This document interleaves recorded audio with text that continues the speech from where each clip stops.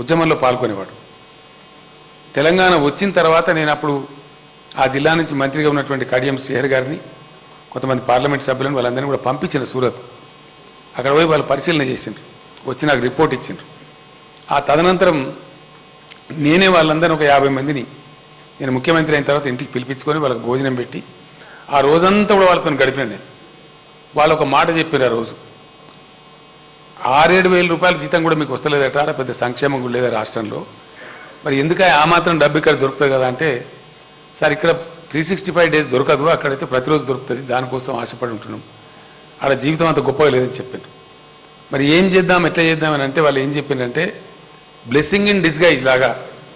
మేము అక్కడ పోయిన దానికి మన వాళ్ళంతా మంచి నైపుణ్యం సంపాదించిండ్రు. ఒక్కొక్క వ్యక్తి మన వర్ధనపేట వ్యక్తి అలా పన్నెండు లూమ్స్ నడుపుతున్నాడు డిజైన్లు తయారు చేస్తున్నారు. చాలా గొప్ప కళ నేర్చుకున్నారు. మన దగ్గర టెక్స్టైల్ ఇండస్ట్రీని కనుక మీరు ప్రోత్సహిస్తే మేము అందరికందరం రెండున్నర లక్షల కుటుంబాలు కూడా మళ్ళీ తిరిగి వస్తాం. అట్లానే ఇక్కడ కూడా మనకు ఉపాధి దొరుకుతుందని చెప్పి చెప్తే తెల్ల టీఆర్ఎస్ ప్రభుత్వం వరంగల్లో దాదాపు ఒక వెయ్యి ఎకరాల జాగా తీసుకొని ఆడ మెగా టెక్స్టైల్ పార్క్ కూడా ఏర్పాటు చేసినాం. దానిలో నిన్న మొన్ననే పెట్టుబడులు వస్తూ ఉన్నాయి. చాలా అద్భుతమైనటువంటి కార్యక్రమాలు జరిగేటువంటి ఆస్కారం ఉంటుంది. మన రాష్ట్రంలో మంచి మేలైనటువంటి పత్తి పంటలు కూడా పండుతాయి. కాబట్టి ఆ మెగా టెక్స్టైల్ పార్క్లో మీరందరూ పేపర్లలో చూసుంటారు. నిన్న మొన్న ఒక ఆయన చాలా పెద్ద ఇండస్ట్రియలిస్ట్ వచ్చి మేము ఇక్కడ మూడు వేల కోట్ల పెట్టుబడి పెడతామని చెప్పి ఆయన కూడా రావడం జరిగింది. చాలా పెద్ద పెద్ద స్పిన్నింగ్ మిల్స్ వాళ్ళందరూ కూడా వచ్చే ప్రయత్నాలను జరుగుతూ ఉన్నాయి. రాబోయే కొద్ది రోజులలో ఆ మిల్లు అద్భుతమైనటువంటి రూపం తీసుకుంటే చాలామంది చేనేత బిడ్డలకు అక్కడ ఆస్కారం వస్తుంది కొంత పని జరిగేటువంటి అవకాశం ఉంటుంది. నేను చేనేత పెద్దలతోని సోదరులతోని ఆ రంగంలో పనిచేసిన యాక్టివ్గా పనిచేసిన మిత్రులు నా చాలామంది కనపడతా ఉన్నారు. మీ అందరితో కూడా నేను కోరేది ఏంటంటే గత ఓల్డ్ ఫేషన్లో ఆలోచించడం కాదు. ఈ రోజున్న సిచ్యువేషన్లో నిజంగా చేనేత కార్మికులకు ఈ దుర్భర పరిస్థితి నుంచి ఈ కమ్యూనిటీ బయటపడాలంటే ఏం చేయాలి? అప్రోచ్ ఏం తీసుకోవాలి? మనం ఏ పద్ధతి ఏ దారి పెడితే ఈ వర్గం శాంతియుతంగా ఉంటుంది? అని కొన్ని కాంక్రీట్ ఆలోచనలు చేయవలసిందిగా నేను మిమ్మల్ని అందరినీ కూడా ప్రార్థిస్తా ఉన్నాను. ఏదో గాలిగత్తర మాట్లాడడం పిచ్చి పిచ్చిగా మాట్లాడడం డిమాలి అది కాదు కథ. నిజంగా ఏదైనా జరగాలి అంటే తప్పకుండా పని చెయ్యాలి. పని క్రియాశీలంగా ఉండాలి అది అవసరార్థమై ఉండాలి. స్లోగన్ ఓరియంటెడ్గా ఉండకూడదు. కాబట్టి అటువంటి ఆలోచనలు చేనేత వర్గం నుంచి రావాలని చెప్పి నేను కోరుతా ఉన్నా. మిత్రుడు రమణ కూడా ఇప్పుడు మనకు దోహదపడ్డాడు కాబట్టి వారు కూడా మనతో పాటు భుజం కలిపినారు కాబట్టి తప్పకుండా రాబోయే రోజులలో చేనేత లోకం ఎందుకంటే నేను ఒక మాట మళ్ళా చెప్తా ఉన్నా. కొంతమంది సన్నాసులకు ఏం చెప్పినా అర్థం కాదు. నేను మొదట్లోనే చెప్పిన. ఉద్యమం జరిగే సమయంలో చెప్పేవాడిని. ఉద్యోగస్తులందరికీ చెప్పిన రోజు ఉద్యోగ సంఘాల సమావేశం జరుగుతూ ఉంటే తెలంగాణ రాష్ట్రం అంటూ ఏర్పడడం జరిగితే డెఫినెట్గా మనం మంచి ధనిక రాష్ట్రంగా ఉంటాం మంచి రిసోర్స్ఫుల్ స్టేట్గా ఉంటాం. కాబట్టి ఇండియాలోనే నెంబర్ వన్ జీతాలు మీకు ఇచ్చే పరిస్థితి కూడా ఆ రోజు నేను చెప్పిన. అది నిజమైంది ఇలా జరుగుతూ ఉంది. మన మన తెలంగాణ ఉద్యోగులు దేశంలో నంబర్ వన్ కేటగిరీలో ఇలా శాలరీస్ తీసుకుంటా ఉన్నారు. మీ అందరికి తెలిసే ఆ విషయం? అట్లానే మనం మంచి రాష్ట్రంగా ఉన్నాం చాలా రిసోర్స్ఫుల్ రాష్ట్రంగా ఉన్నాం. వాస్తవానికి మనది బంగారు తునక. చేతిలో పరాధీనమై నలిగిపోయినని తప్ప మనకు రిసోర్సులు లేక కాదు వనరులు లేక కాదు. నేను ఒక నలభై ఎకరాల భూమి అమ్మితే రెండు వేల కోట్ల రూపాయలు ఇచ్చింది. అది ప్రజాధనం. ఆ డబ్బు ప్రజల సొమ్ము. అట్లా వచ్చిన డబ్బునంతా ఏం చేస్తాం? డెఫినెట్గా మా చేనేత కోసం వాడుకుంటాం మా దళితుల కోసం వాడుకుంటాం మా పేదరికం కోసం వాడుకుంటాం. దేనికి వాడతాం ఆ డబ్బును? వంద శాతం ఈ సమాజంలో ఉన్న ప్రతి వర్గం ప్రతి కార్మికులు ప్రతి ఒక్కరు తల ఎత్తుకొని గౌరవంగా ఎస్ మాది తెలంగాణ అని చెప్పుకునే పరిస్థితి రావాలనే ప్రయత్నం చేస్తాం తప్ప వేరే ప్రయత్నాలు చేయం ఇంకా కొన్ని చిన్న చిన్న ముక్కలున్నాయి. ఇప్పుడే ఇంతకుముందు చీఫ్ సెక్రటరీ నాకు చెప్తా ఉన్నాడు. పంతొమ్మిది నుంచి పార్లమెంట్ సమావేశాలు ఉన్నాయి కాబట్టి పార్లమెంట్ సభ్యుల యొక్క సభ జరుగుతూ ఉండి నేను మధ్యలో లేచి వచ్చిన. రమణ గారు వచ్చారు వారికి నేను కండువా కప్పి రావాలి. నాకు వ్యక్తిగతంగా సన్నిహితుడు. నేనే పోవాలని చెప్పి మీరు నన్ను క్షమించాలని చెప్పి నేను వచ్చిన ఇక్కడికి. ఇంకా ఆయన మీద ఉండే వ్యక్తిగతమైన ప్రేమతోని నేను రావడం జరిగింది. అయితే పార్లమెంట్లో మన పాత్ర ఏంది ఏం చేయాలి అనే దాని మీద చర్చ జరుగుతూ ఉంది అక్కడ. అక్కడ చీఫ్ సెక్రటరీ గారు ఉన్నారు. నిన్న ఒక ముక్కని అమ్మేసిండ్రు ఇవాళ కూడా ఒక పదిహేను ఎకరాలు పదహారు ఎకరాల ముక్క అమ్ముతున్నారు. ఇప్పటికే నలభై ఐదు పాట అని చెప్పిండు ఆయన. నేను వస్తూ ఉంటే. అంటే మనకున్న ఒక చిన్న చిన్న ముక్కలు పరాధీనమవుతాయి కబ్జాల పాలవుతాయి లిటిగేషన్ అవుతుందని చెప్పి అనుకున్న కాడ గా చిన్న చిన్న ముక్కలు అమ్మితేనే మనకు వేల కోట్ల రూపాయల సంపద సమకూరుతూ ఉంటుంది. ఇంకా ఒక మాట చెప్పానంటే లేటెస్ట్ ఫిగర్స్ ప్రకారం నేను చెప్పేది కాదు గవర్నమెంట్ ఆఫ్ ఇండియా లెక్క.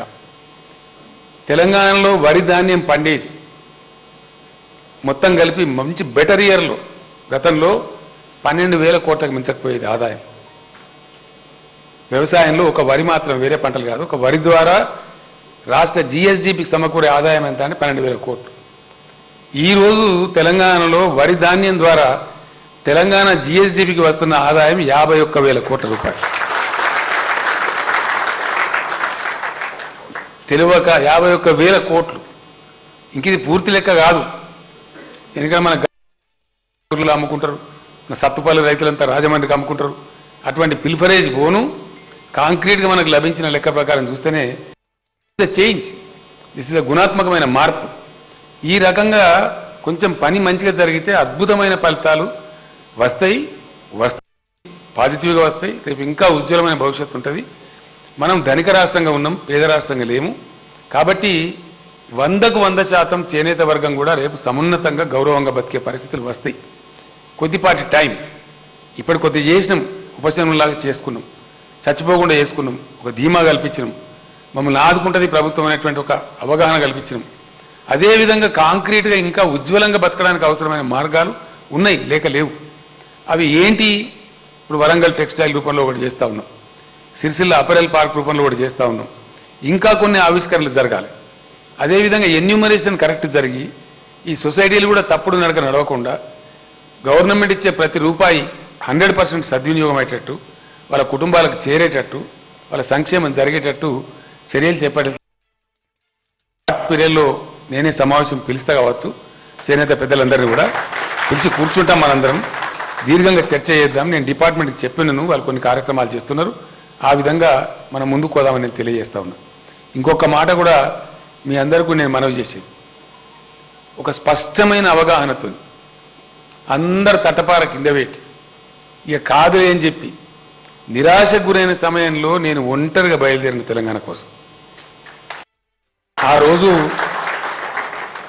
ఎటువంటి అధికారం ఉన్న పెద్దల్ని ఎదుర్కొని ఎటువంటి ఛాలెంజ్ తీసుకొని వెళ్ళినా మీకు తెలుసు. దానికి కేవలం గుండె ధైర్యం తప్ప ఇంకోటి లేదు ఆ రోజు. ఎటు చూసినా కారు చీకటి. నేను కనబడితే నా ఫ్రెండ్ కూడా సంధిలోకి పోతుండే. ఇంతో మాట్లాడితే అక్కడ తెలుస్తుందేమో అన్నట్టు. అంత ఘోరమైన పరిస్థితులలో ఒంటరిగా బయలుదేరితే మొండిగా ప్రయత్నం చేస్తే చిత్తశుద్ధితో ప్రయాణం చేస్తే ఇలా ఖచ్చితంగా తెలంగాణ సాధ్యమైంది. తెలంగాణ సాధ్యం కావడమే కాదు అద్భుతాలు ఆవిష్కరిస్తూ ఉన్నాం. రెండు మూడు విషయాలు నేను చెప్తాను చెప్తే శాంతాడంత ఉంటుంది రేపు గీయాల దాకా చెప్పచ్చు. కానీ తెలంగాణ వచ్చినాడు కరెంటు పరిస్థితి ఏందో మీకు తెలుసు. ఇండియాలో చిట్ట చివరిలో ఉన్నాం మనం. మన తలసరి విద్యుత్ వినియోగం పర్ క్యాప్టా పవర్ యూటిలైజేషన్ అది హ్యూమన్ ఇండెక్స్ డెవలప్మెంట్లో పరిగణిస్తారు. ఆ రోజు వెయ్యిన్ని డెబ్బై యూనిట్లు. ఈరోజు రెండు వేల ఒక వంద డెబ్బై యూనిట్లు మన మన తలసరి విద్యుత్ unit.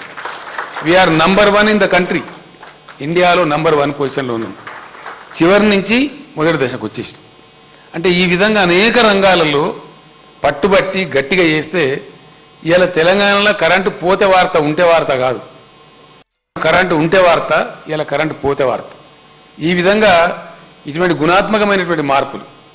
ప్రపంచంలోనే ఇండియాలో కాదు ప్రపంచంలోనే ఎక్కడ కూడా చాలా అభివృద్ధి చెందిన అమెరికా లాంటి దేశాలలో కూడా మన మిషన్ భగీరథ ఉంది. కొన్ని చోట్ల ఉంది కొన్ని ప్రాంతాలకు ఉంది కొన్ని ప్రాంతాలకు లేదు. ఆ విధంగా ఒక అద్భుతమైన కార్యక్రమం మిషన్ భగీరథ. రైతులు అనుభవించిన బాధలు మీకు తెలుసు. దశాబ్దాల తరబడి నష్టపోయినాం.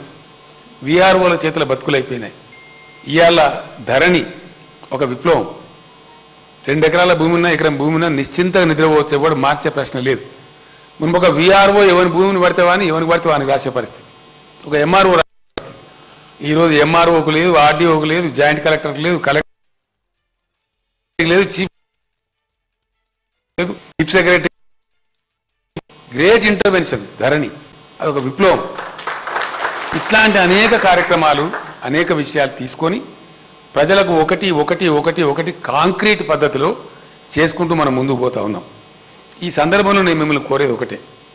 మీ దీవెన మీ అండదండలు మీ సహకారం ఉన్నన్ని రోజులు నా లైన్ను ఎవ్వరు కూడా ప్రపంచంలో మార్చలేరు.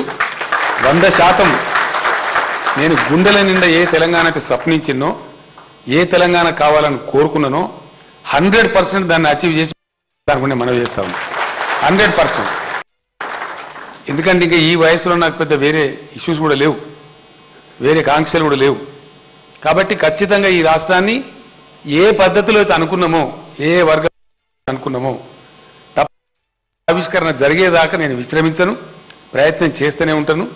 ఆ విధంగా జరిగేటువంటి ప్రస్థానంలో ఈరోజు మిత్రులు రమణ గారు మంచి నిర్ణయం తీసుకొని నేను కూడా ఈ తెలంగాణ రాష్ట్రం కోసం జరిగే ప్రయత్నంలో పాలు పంచుకుంటా నా వంతు కృషి చేస్తా అని చెప్పి రావడం చాలా సంతోషం. మరొక్కసారి వారికి వారితో పాటు వచ్చిన మిత్రులకు నేను హృదయపూర్వకమైన ధన్యవాదాలు తెలియజేస్తా ఉన్నా. చేనేత వర్గానికి రాజకీయ ప్రాతినిధ్యం కల్పించే విషయంలో త్వరలోనే మీకు మంచి గుడ్ న్యూస్ కూడా మీకు అందిస్తాను నేను.